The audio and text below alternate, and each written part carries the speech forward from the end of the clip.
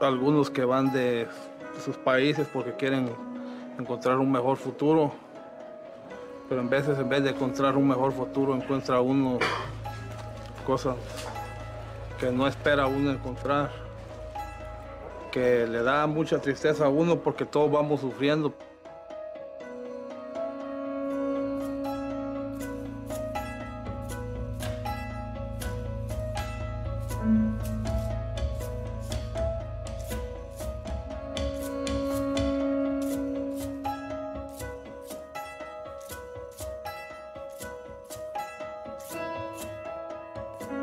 Que aquí en el camino es todo muy difícil, que peligra uno con su vida, o secuestran a uno, otros le roban a uno dinero, violaciones de mujeres, de niños, entonces se ven cosas muy feas.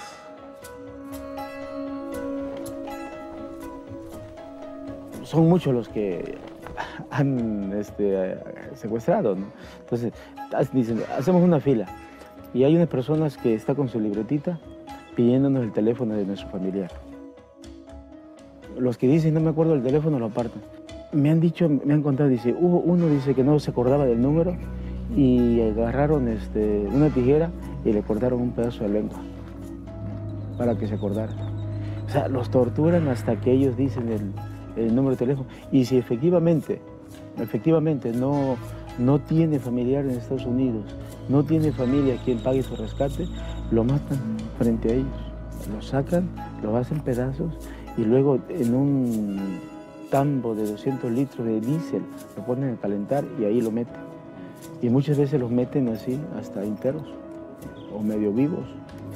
Los meten en ese tambo de diésel caliente, según para que no quede huella, para que se consuma todo y no, ya no puedan saber quiénes son.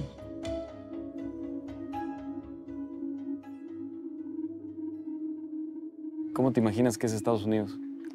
Bonito. Como ha visto en las fotos. Tiene una foto de cuando ella estuvo allá. Tiene una foto del, ¿qué? SeaWorld. Ah, de Ah, la ballena. Las ballenas, delfines. Todo eso parece que... Para mí sería mejor estar en nuestro país que El Salvador diera más oportunidades de trabajo, que todas las cosas fueran mejores para no tener necesidad de viajar a otro país, hacer otra, otra vida. ¿Ustedes se sienten culpables de algo? No. So- bien. Yo sí me siento culpable de ser latina nada más. Porque si yo fuera de allá, pues tal vez no nos trataran así, ¿verdad? Esta familia viaja con tres niños. El más pequeño tiene un año ocho meses. Es imposible imaginar de lo que vienen huyendo al ver que están dispuestos a arriesgarlo todo por un futuro para sus hijos. Es incuestionable que todos tenemos ese derecho, el de mejorar las condiciones en que vivimos.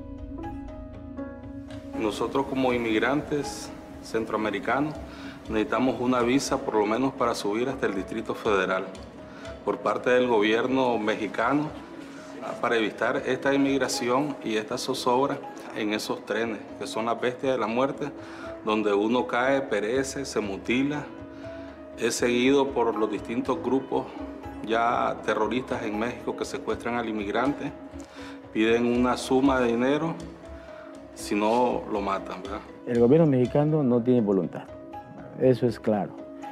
Lo que ha hecho, lo ha hecho por presión de las ONGs, ¿verdad? Por presión de la sociedad civil que presiona, que, que denuncia. O sea, lo hace por presión. Tan fácil saber quiénes son los, que, los secuestradores, tan fácil llegar a ellos. O sea, no quieren, ¿por qué? Porque están coludidas las autoridades con ellos. O sea, es sencillo. O sea, yo considero que es muy fácil para las autoridades llegar a saber quiénes son los secuestradores. Pero no quieren.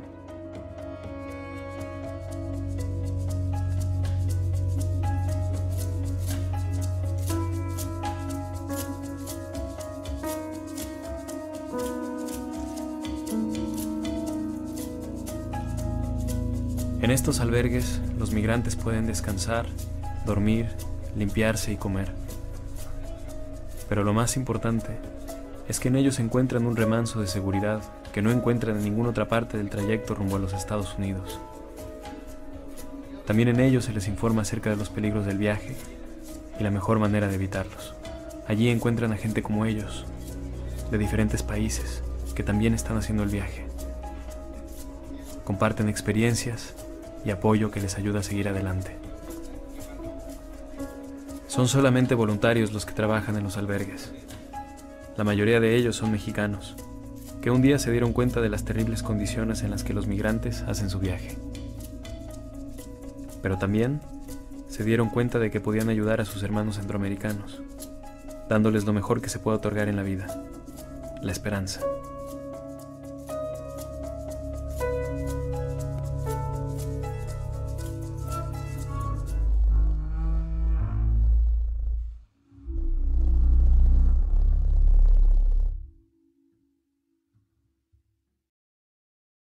Nosotros aquí todas somos madres solteras. Yo, pues, papá de mis niños me dejó. Eh, ella, su esposo murió, el de ella también. O sea, el mío como que también pues esté muerto porque no, no les ayuda en nada. Yo dejé mi familia, mis hijos, mi mamá, mis hermanos. ¿Cuántos hijos tienes? Dos. Dos, mi mamá, mis hermanos. Bueno, lo que, todo lo que tengo lo dejé allá. Pero pienso llegar a Estados Unidos para ayudarles mucho, porque Honduras está bien malo. No hay trabajo, eh, tenemos gastos, muchos gastos, todo está malo, malo, malo. ¿Qué, es lo que más miedo les da? Miedo. De este viaje. Que nos secuestren porque... Que nos vayan a secuestrar. Que nos secuestren. Porque no tenemos cómo pagar un rescate. Sí. Porque sí piden mucho dinero. Y no tenemos para pagarnos.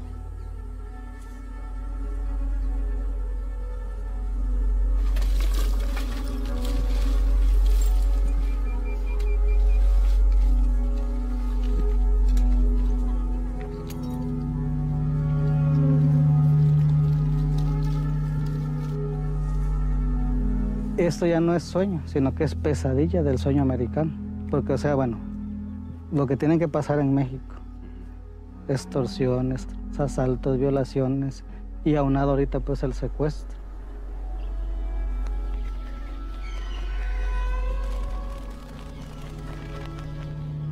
Se calcula que 6 de cada 10 mujeres son abusadas sexualmente en su viaje a los Estados Unidos.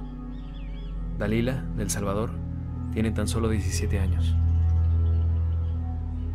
asaltaron los ladrones, hicieron, le pegaron a mi tío, lo robaron todo, a unos muchachos que venían los compañeros les quitaron los pantalones, ropa, este, la camisa, zapatos, todo les quitaron. Y luego a mí me violaron y un montón de cosas hicieron ellos. Aquí eh, era el lugar donde los asaltantes ya se escondían atrás de, los vagones y ya como el migrante pasa por este lado o venía por las vías, ya le salían y ya este, ya sea que los metían atrás de los vagones o si no se los llevaban hacia el fondo. Mi hijo siempre decía cuando su papá que él quería una moto, pero una motito así, de esa. Yo le decía, mire mi amor, cuando yo llegue a Estados Unidos se la voy a comprar. Y bueno, mi primer sueldo que haga, bueno, no voy a comprar la moto de él, sino que yo tengo una promesa y la voy a hacer. En este libro se lleva un registro de las mujeres que han pasado por los albergues de migrantes. También se registran los abusos que les han cometido en su camino. Mariela es una psicóloga voluntaria que trabaja con estas mujeres. Es muy difícil ese trabajo, realmente no pasa día que, que, sienta ese dolor y, esa, e, e, ese malestar. Una jovencita de 17 años, hondureña, que viene con su pareja, eh, está embarazada de dos meses, y en el basurero se encuentra con cuatro individuos. A los hombres los, los despojan de, de sus pertenencias, de su ropa, y obviamente a la chica también. La violan tres hombres este, frente a su pareja, frente a sus compañeros. Las mujeres que salen de sus países se inyectan una, este, una solución anticonceptiva, digamos. Ayer precisamente una niña de 14 años me preguntaba si, si aquí pueden darle esa inyección. Ya vienen predispuestas a que las pueden violar, entonces se inyectan y en caso de que eh, sean eh, abusadas sexualmente, pues al menos tienen, saben que no van a quedar embarazadas, ¿no? A mí me convenció mucho porque mis hijos empezaron las clases. Eh, pues no tenía para ajustar a comprar todo lo que ellos necesitaban, sus útiles. Y pues eso me hizo sentir muy mal. Dije, no, yo tengo que viajar para Estados Unidos para poder darle a mis niños todo. Porque es lo que más deseo en la vida. Que ellos tengan lo que yo no pude tener, mis estudios. Mm. Entonces,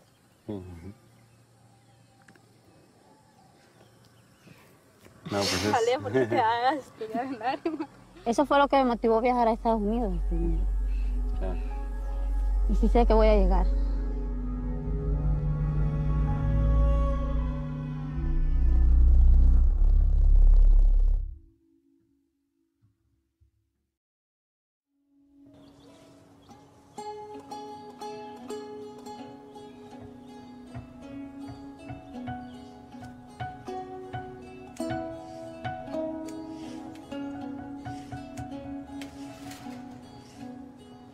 A mí me gustan las plantas. Me gusta convivir con ellas. Me gusta hasta platicar. Se me olvidan las penas, pues.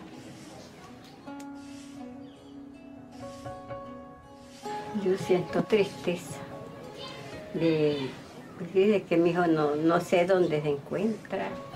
Yo siento una gran tristeza. Es mejor este, estar todos unidos, ver las niñas aquí sin su papá. Ella no lo conoció. Él cuando se fue me dijo, a los 12 días le hablo, mamá, me dijo. Y ya no me habló. Yo todavía tengo esperanza.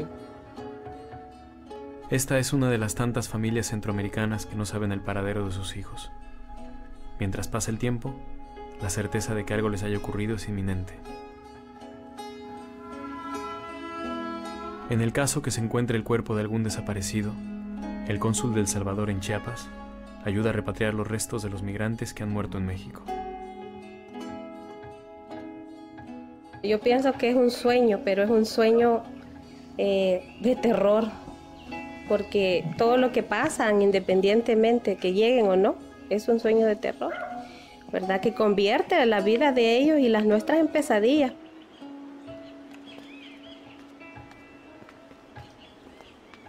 Y te digo que la indignación mía fue ver esas fotos cuando aún mi hermano estaba desnudo, enterrado con esas tres personas más, atado aún con alambres de púa a sus pies, que me dio la impresión de que como un animalito lo hubieran jalado con ese alambre y lo fueron a meter ahí como, como cualquier perro.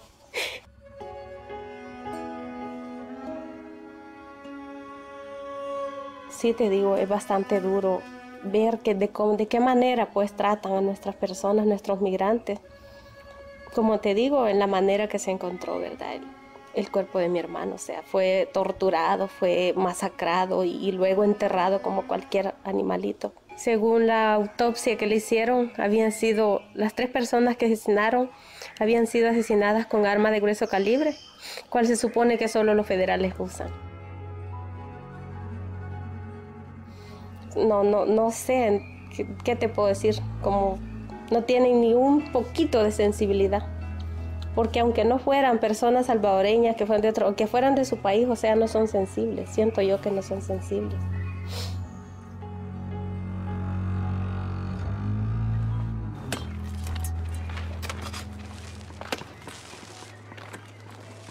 Ahí hay uno.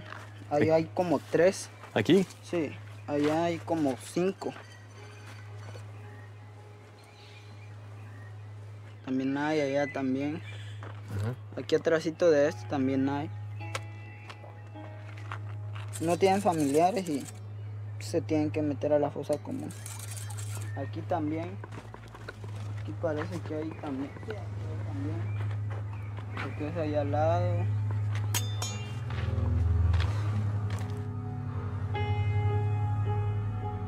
Al final, es un niño de 16 años, que sin saberlo, atestigua el dolor de cientos de familias.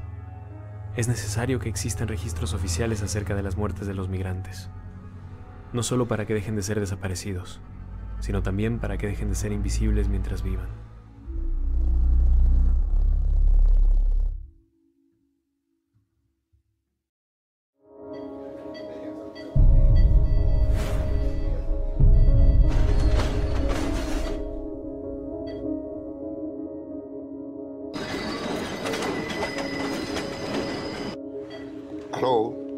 ¿Quién habla? Juanita. Pues muy mal, hija, estoy en el hospital, este, yo tengo tres días estar en el hospital, este, pero no le diga nada a mi mamá de eso. Estoy aquí en México, pero el problema es que me iban a, a sentar en el tren y me tiraron del tren y completamente ya estoy en el hospital y gracias a Dios pues logré salir de donde estaba porque me quedé solitario en esa línea del tren. Me, me van a amputar creo dos dedos y tengo una fractura en la muñeca, gracias a Dios solo saqué eso. Y me dicen, máteme, déjeme que me desangre. Le ponen una cubeta en el hospital y le ponen las dos piernitas que escurrieran ahí. Y no, le digo, no, se va a morir, se va a desangrar. Entonces yo vengo y la subo y me dice, deje que me desangre, deje que me muera. No, le digo, tú tienes mamá, tú tienes hijos, yo no sé qué tienes, pero por ellos haz lucha.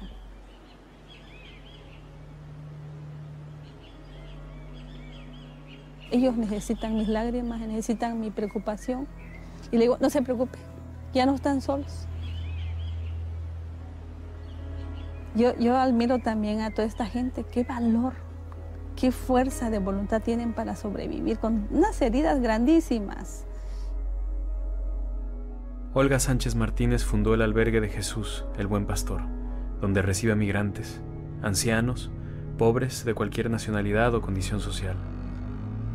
Sin gente como Olga o el padre Alejandro Solalinde y los voluntarios que trabajan con ellos, los migrantes estarían completamente desamparados.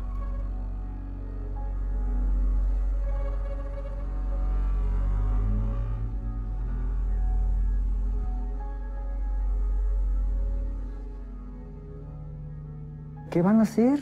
¿Los van a secuestrar? ¿Qué van a hacer? Y dice uno de por acá, dice, pues vamos con la ayuda de Dios, Dios va con nosotros. Sí, pero con todo y Dios nos van a secuestrar. ¿Qué van a hacer? Y contesta uno, ¿saben qué? Dijo, pues seguirle.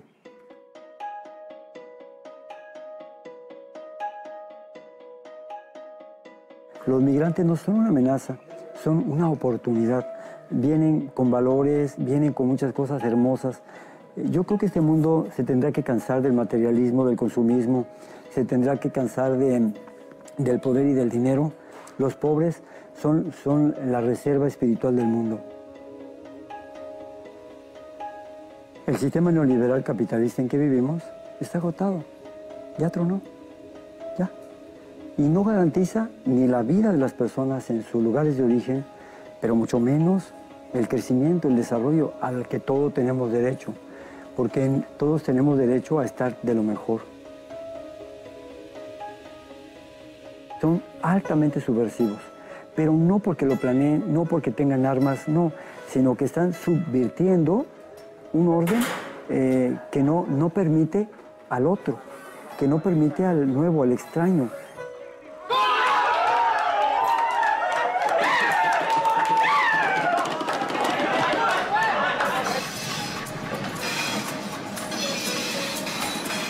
Cuando yo les he hecho la pregunta a ellos, ¿qué, este,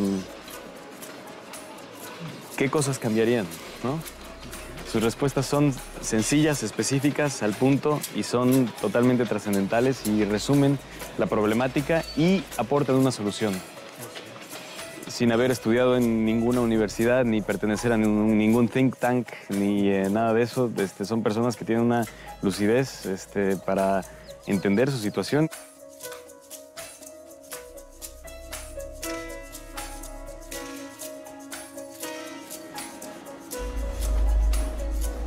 Es gente que tiene una meta muy clara, pero que siento que si nosotros estuviéramos en esa situación, siento que hubiéramos renunciado hace rato.